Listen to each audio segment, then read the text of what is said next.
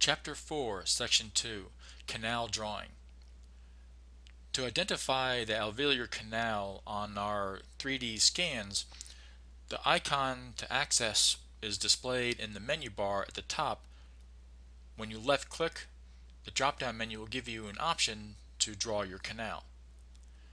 Drawing the canal will be done through a series of left clicks with your mouse to identify the points going either anterior posterior, anterior, and then identifying the canal in the mandible. The Draw Canal feature is located in the toolbar at the top of the screen. When hovering the mouse on top of the icon, it will state Draw Canal. In this example, we're going to work with our 2D pan reconstruction in the bottom left-hand corner. To activate the function, left-click on the icon, and then left-click on Manual. To work with this 2D pan reconstruction, we'll go ahead and maximize our view and then from here we have the ability where we can use the center wheel of our mouse to essentially scroll through our anatomy between the cortical plates such as this here where I scroll towards the lingual side or scroll the mouse towards me where I'm going out towards the buccal side where I can now see the mental foramen. In this case here we'll start from the mental foramen and go anterior posterior. The idea is to essentially identify the center of our canal by placing our landmark by left clicking. I then scroll my mouse through the arch going in towards the trabecular bone where I begin to see the canal itself. In this case here we're going to plot a landmark between the superior and inferior border of our nerve. As we progress going further back we can either go all the way back to the mandibular foramen or to a point where it's no longer part of our treatment plan. Once you are finished, simply double click and you now identify the canal on our 2D pan reconstruction view. We'll go back to our normal view and be able to identify the canal is now displayed in every window within the software where that area of anatomy is visible, including our 3D window here, as well as navigating back over to our MPR view where we can see it in our coronal view, our axial view, and perhaps even in the sagittal view here on the left hand side of the patient's arch.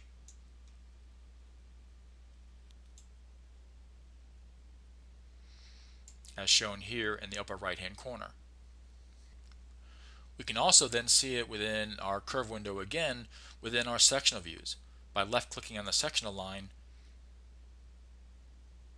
until it becomes visible then within our sectional windows.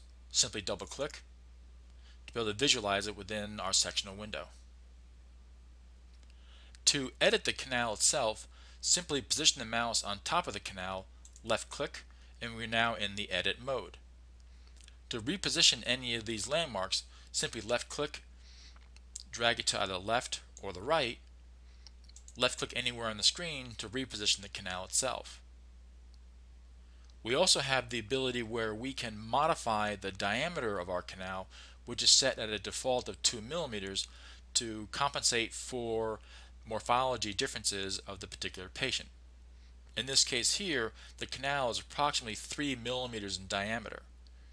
We can left click to get into our edit mode here. However, we can also identify the icon at the top of the window for our canal manager. Left click and then from here we can then change the properties of this canal itself including the diameter which in this case here we'll change it to 3 millimeters. Left click on OK, left click on close and now we change the size of our canal itself. We also have the ability to change the color as well by going back up to our canal manager left click on the canal we've just drawn, left click on color, perhaps yellow, and then select close. At this point in time, I would encourage you to pause the video and then perform the steps to draw the alveolar canal in the mandible by selecting the icon in the toolbar at the top and then using the pan reconstruction to generate your canal itself. In our next example of constructing our canal within the mandible, we're going to utilize the sectional views within the pan curve window. To do this, simply double click on a sectional view and then left click on the vertical line that identifies the sectional view above and then drag the line across. In this case here, we'll stop when we get to the mental foramen itself, which is now visible in sectional number 69. From here, it's encouraged to take your mouse and simply travel along with the canal as it goes anterior posterior to identify it within the arch itself.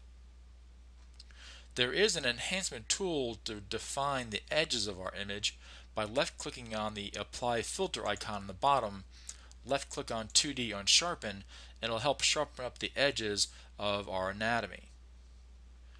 Once you've identified the canal itself again you can either go posterior anterior or anterior posterior in this case here I'll go ahead and go from the posterior area of the arch out towards the mental foramen itself. To do that, we'll navigate to the top of the window, left click on Draw Canal, and left click on Manual. From here, once we have identified our canal, we'll go ahead and plot our landmarks.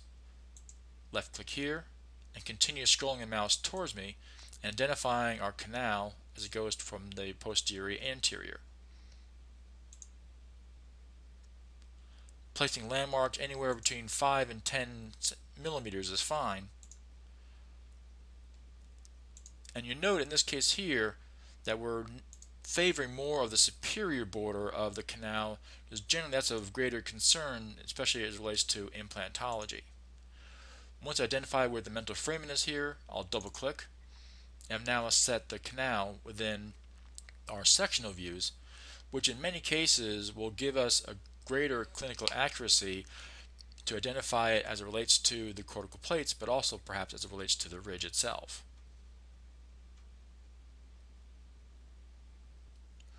At this point in time, it's encouraged to pause the video once again, navigate back over to the Ez3D software, and identify the canal using the sectional views.